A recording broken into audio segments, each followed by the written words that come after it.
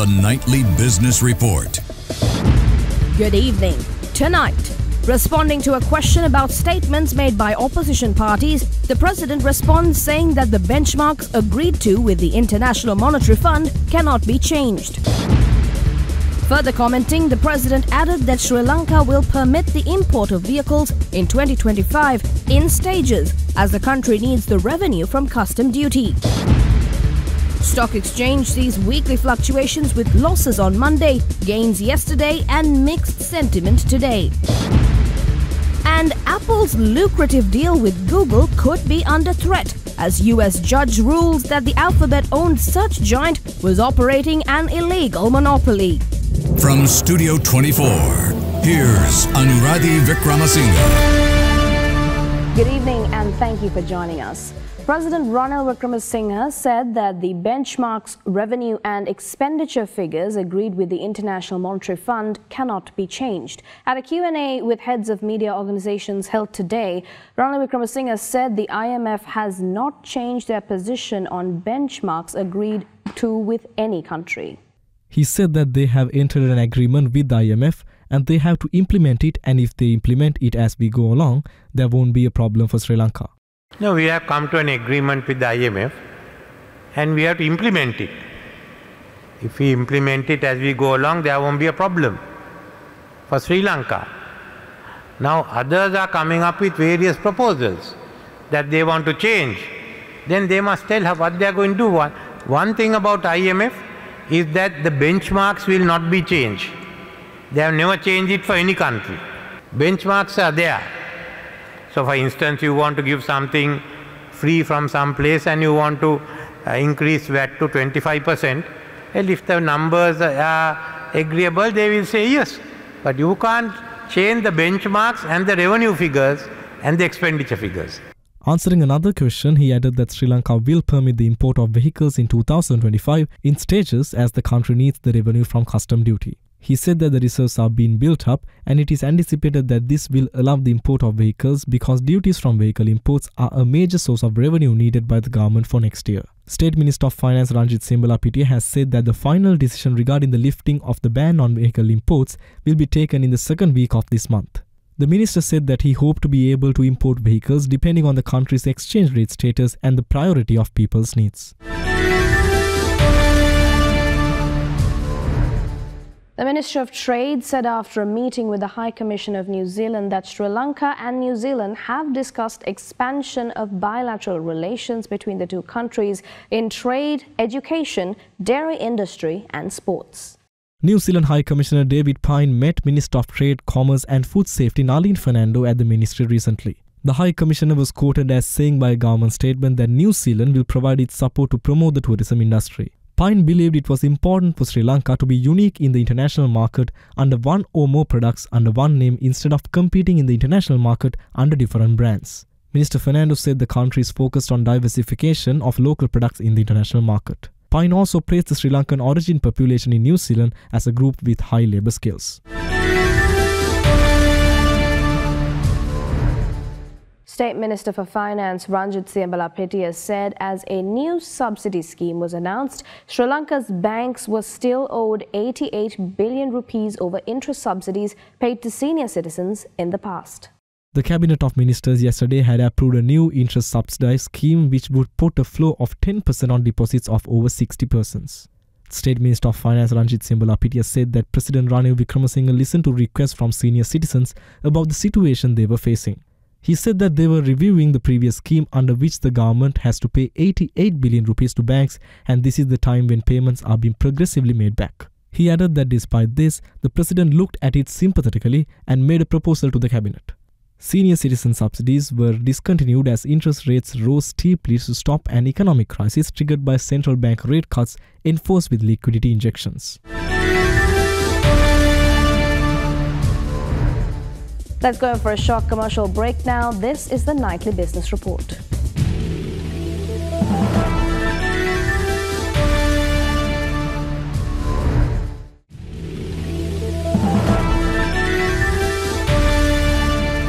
Welcome back to the Nightly Business Report. The stock exchange has been fluctuating this week, ending Monday with losses, showing gains yesterday and recording mixed sentiment today. Today, the all-share price index recorded gains while the S&P SL20 registered losses, resulting in a neutral trajectory. For a summary of today's trading session, let's join Anjali Matthews from First Capital Holdings. Yes, Anuradhi. Today, the Colombo Stock Exchange continued the, the trends of the previous session, displaying dull sentiment amidst ongoing political uncertainty, causing the all share price index to remain stagnant at closing. The SPI started the day on a bullish note, eventually closing at 11,295, gaining only one point from the previous day. The S&P SL20 index, however, experienced a decline, losing 6 points to close at 3221. Most of the diversified financial sector counters witnessed some buying interest throughout the day, with Selenco Holdings emerging as the top positive contributor towards the ASPI. And as low sentiment persisted, turnover stood at rupees 320.3 million, marking a 63.5% decrease from the monthly average amidst low participation from retail and high net worth investors. The top gainers of the day include Blue Diamonds Jewelry, Renuka Holdings, Browns Beach Hotels, and Sathosa Motors, while the top losers of the day include S&P Finance and Tess Agro non-voting.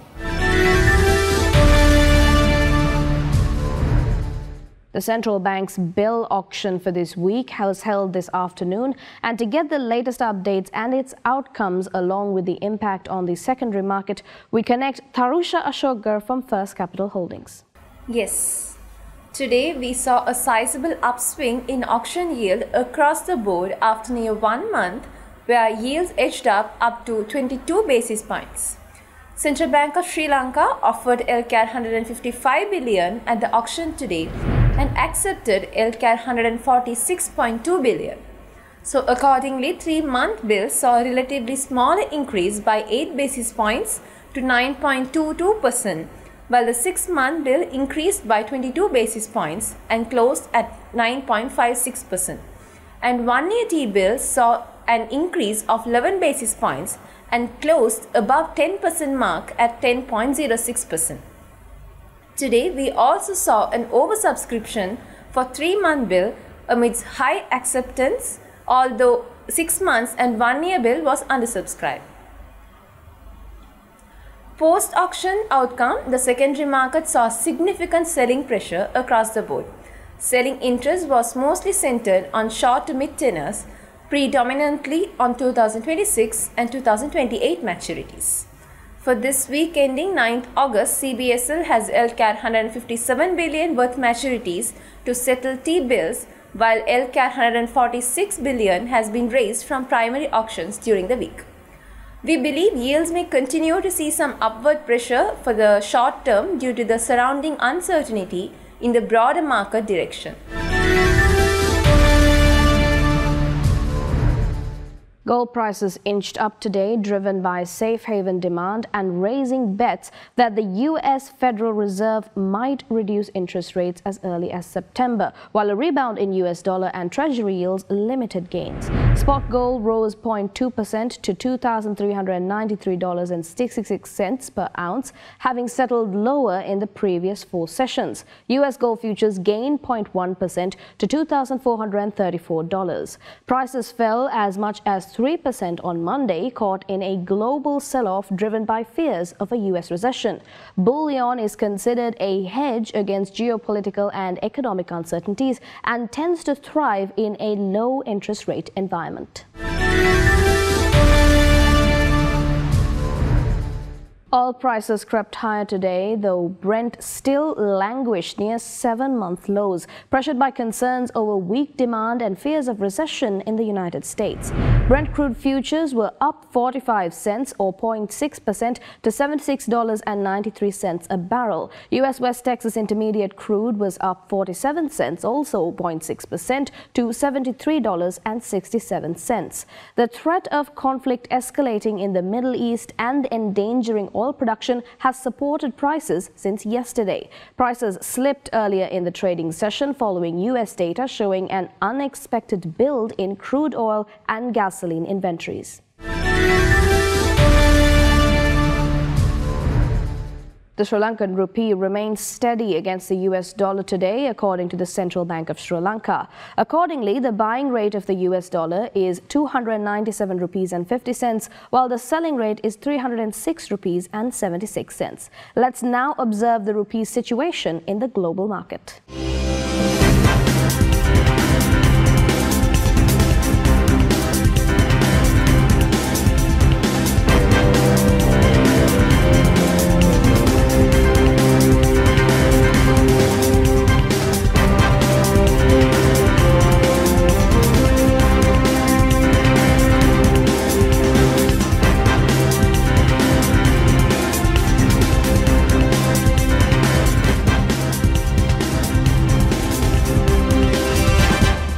Break now. Updates from the corporate world coming right after this. This is the nightly business report.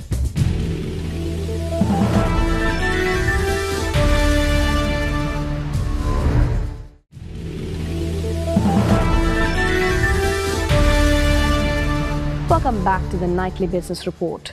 Singer Sri Lanka PLC set a new benchmark for flagship smartphone devices in the country with the grand unveiling of the Honor Magic 6 Pro. The device represents the pinnacle of smartphone innovation and performance in Honor's portfolio and is renowned for its cutting-edge technology and user-centric design. As an exciting new entrant to the competitive high-end smartphone market, the Honor Magic 6 Pro is poised to become a favorite among discerning smartphone users across the country. A key highlight of the Magic 6 Pro is its achievement of the DxO Mark Gold labels, making it the first smartphone in the global industry to receive this achievement. DxO Mark, the renowned consumer electronics testing and rating agency, has confirmed the Magic 6 Pro surpasses the top devices currently on the market across all evaluated categories, namely camera, battery, audio, selfie, and display. Attractively priced, the device offers a suite of unparalleled features and advanced specifications. Commenting on the launch, Mr. Mahesh Wijewardhana, the CEO of Singer Group of Companies, stated that their partnership with Honor reflects Singer's commitment to bringing world-class technology to Sri Lanka. The launch aims to position Honor as a top flagship option in Sri Lanka, emphasizing superior usability and advanced specifications. Alliance Air, a subsidiary of Air India, has achieved a significant milestone by completing its 500th flight operation to Jaffna International Airport on the 6th of August 2024. The airline's commitment to enhancing connectivity between Chennai, India and Jaffna, Sri Lanka has been commendable. Alliance Air recommenced commercial flight operations from Chennai International Airport to Jaffna International Airport on the 12th of December 2022 after the pandemic. The Chennai-Jaffna route plays a crucial role in connecting Tamil Nadu's capital Chennai with Jaffna in Sri Lanka's northern province. At present, the airline operates daily flights between Jaffna and Chennai, giving more opportunities for travelers to explore cultural, business, and tourism opportunities between the two cities. The airline operates its ATR 72 aircraft, and up to date in 2024, the airline has handled over 50,000 passengers through the Northern Gateway. The airport aviation ground handling team has provided all ground handling services for these flights, ensuring a smooth and efficient experience for all passengers.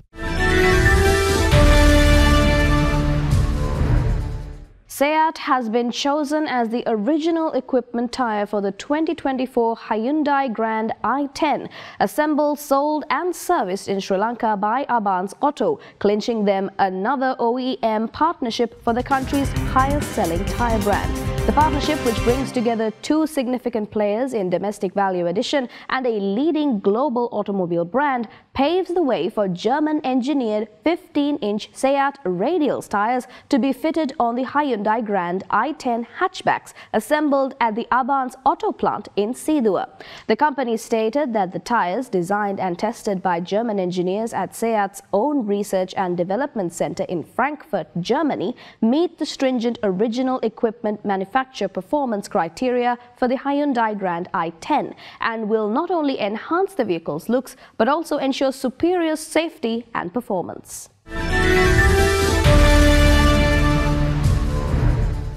Camera LK recently opened its latest showroom in the Maldives as the official distributor of Sony Electronics. With the opening of the showroom in the Maldives, free photography workshops will also be available for photographers in the country.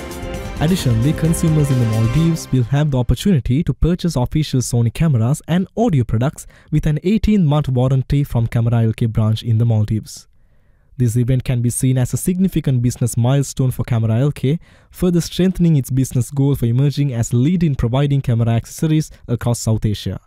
As a result, photography enthusiasts and professional photographers in the Maldives now have the opportunity to purchase cameras, lenses, and any camera accessories produced by Sony.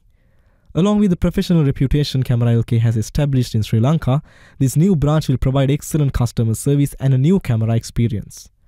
Camera LK offers more than 5,000 products from renowned camera brands, providing anyone with the opportunity to select the best camera to suit their needs. With the branches in Colombo, Kandy, and Jaffna, and a user friendly online store, anyone from anywhere on the island can conveniently fulfill their camera needs.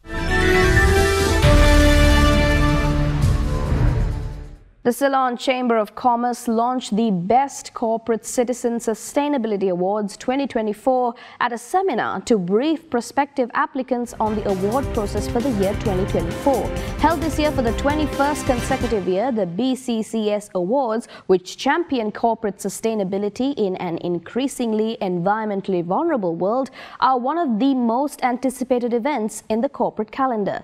The briefing webinar was led by the chairman of the panel of evaluators and a veteran in the field of sustainability, Mr. Ratika De Silva. Applications for the BCCS Awards are now open with the application forms, brochures and other relevant documents accessible at www.chamber.lk.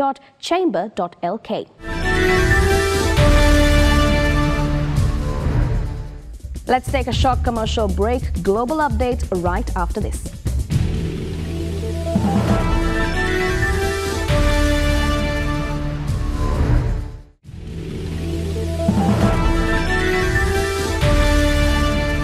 Welcome back to the nightly business report. Asian share markets rose today, led by another bounce in the Nikkei as the Bank of Japan unexpectedly turned cautious on rate hikes amidst market volatility, inducing a sharp fall in the yen.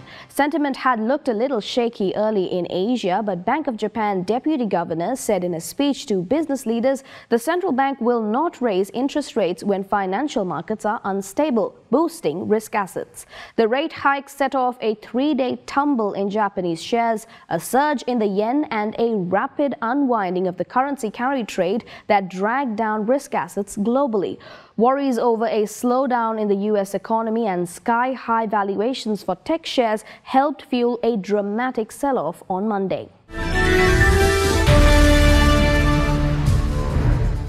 Turning now to Wall Street, the S&P 500 and Nasdaq rose by 1% yesterday as investors re-entered the market following a sharp decline the previous day. Recent remarks from Federal Reserve officials have alleviated concerns about a potential U.S. recession.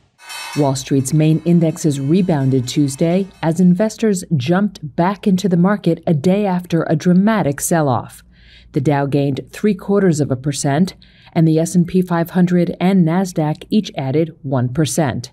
In recent comments, Federal Reserve policymakers have pushed back against the idea that weaker than expected July jobs data means the economy is headed for a recession. Traders are pricing in a 75% chance the Fed will cut rates by 50 basis points at its next policy meeting in September, according to the CME Group's FedWatch tool. Though later this month, Federal Reserve Chair Jerome Powell could give an indication of where the central bank stands during his speech at the annual meeting of central bank officials in Jackson Hole, Wyoming. Stocks on the move Tuesday included AI darling Nvidia, up nearly 4%, giving the S&P and Nasdaq their biggest boosts. Uber shares jumped 11% after the ride-sharing and food delivery provider beat Wall Street estimates for second quarter revenue and core profit, helped by steady demand for its services and Caterpillar gained 3% after beating analysts' estimates for second quarter profit, as higher prices on its larger excavators and other equipment countered moderating demand in North America. Updates on Google's illegal monopoly now. Apple's lucrative deal with Google could be under threat after a U.S. judge ruled that the Alphabet owned search giant was operating in an illegal monopoly. Apple's lucrative relationship with Google could be at risk after a judge ruled that the search giant is operating an illegal monopoly. The Alphabet owned firm pays the iPhone maker $20 billion per year to be the default search engine on the handsets. That's according to analysis by Morgan Stanley. But analysts say avoiding antitrust penalties could require terminating the agreement. Instead, users might be prompted to choose a search engine. It's estimated ending the exclusivity deal could knock up to 6% off Apple's profits and leave it looking for new options.